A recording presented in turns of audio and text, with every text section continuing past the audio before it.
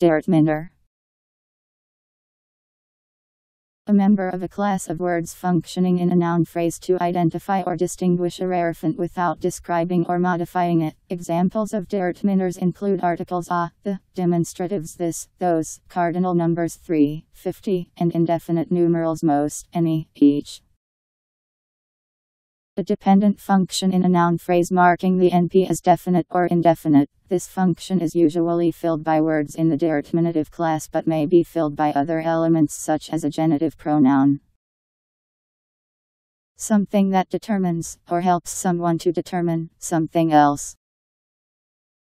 Determiner synonyms, determinative.